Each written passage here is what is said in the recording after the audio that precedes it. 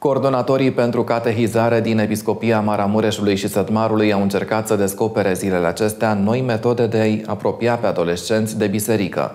Consfătuirea s-a desfășurat la schitul Sfântul Arhidiacon Ștefan Lunașes din țara Oașului și a reunit reprezentanți de la centrul eparhial, preoți, dar și tineri din Ascor, Baia Mare. A patra ediție a consfătuirii coordonatorilor pentru catehizare din Episcopia Maramureșului și Sătmarului a fost organizată de sectorul teologic educațional. Întâlnirea a început în această dimineață cu Sfânta Liturghie și a avut drept scop, pe lângă schimbul de experiență pastorală, stabilirea activităților cu tinerii în 2024, potrivit calendarului bisericesc și structurii anului școlar. Preasfințitul părinte episcop Justin a apreciat realizările în plan catehetic, amintind că anul trecut au fost organizate în eparhie 248 de tabere și școli de vară, la care au participat aproape 13.000 de tineri. Ne bucurăm că suntem împreună și credem că acest proiect care a început și e la a patra ediție va continua.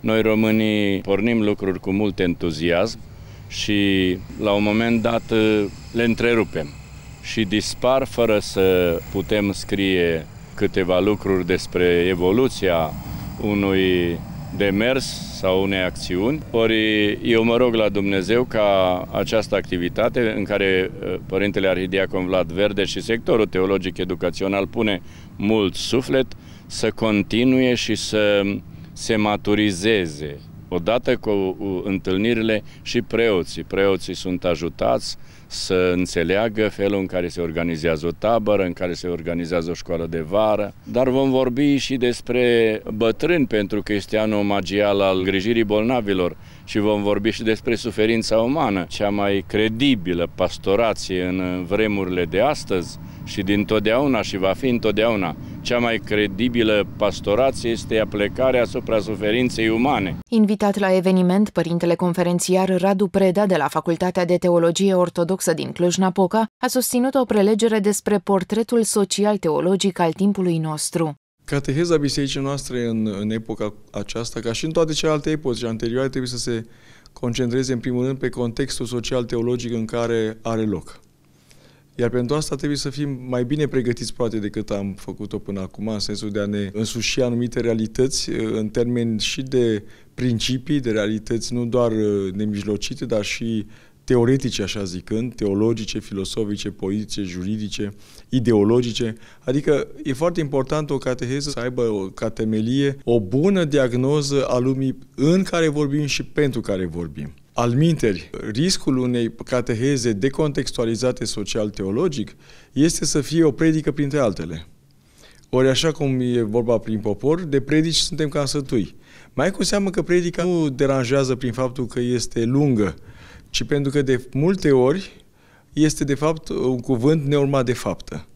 Ori cateheza trebuie să fie o temelie, așa zis, iarăși teologică și teoretică, pentru o faptă eclesială și socială în egală măsură. Pentru activitatea desfășurată ca președinte executiv al Institutului de Investigare a Crimelor Comunismului și Memoria Exilului Românesc, Preasfințitul Părinte Episcop Justin i-a conferit Părintelui Radu Preda Ordinul Cultural Nicolae Steinhardt. Activitățile au continuat pe echipe, iar răspunsul la întrebarea ce își doresc tinerii de azi a venit chiar de la ei, Câțiva membri a Scorbaia Mare au vorbit în cadrul întâlnirii despre așteptările lor în ce privește activitățile organizate cu și pentru adolescenți. Majoritatea tinerilor îl percepem pe Dumnezeu ca cel care a trăit cu ceilalți și pentru ceilalți.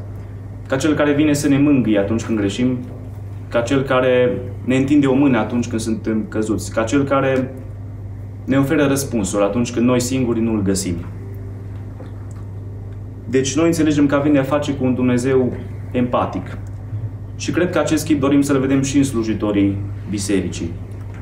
Niciodată tinerii nu vor uh, iubi un Dumnezeu crud, strict, răzbunător, limitat în gândire și probabil nici vreun preot care i-ar semăna. În ediția de anul acesta ne-am concentrat pe a încropi un tipar de activitate cu tineretul în parohie, începând de la formarea unei baze de date în care să avem clar, negru pe alb, tinerii parohiei, hobby-urile lor și uh, tot ceea ce îi interesează și îi fac să se simtă bine, să le cunoaștem nevoile și totodată să încercăm să updatăm mesajul Evangheliei la vremurile în care trăim. De asemenea, am reușit să încropim un program de activități în funcție de calendarul bisericesc și programul anului școlar, ceea ce vine la îndemâna preoților, ajutându-i să își organizeze programul atât în funcție de slujbele bisericești și celelalte responsabilități